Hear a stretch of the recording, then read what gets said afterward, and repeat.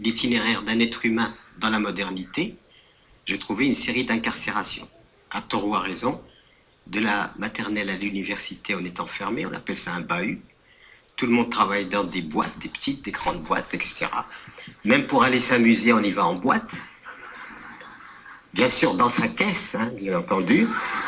Et puis vous avez la dernière boîte où on stocke les vieux.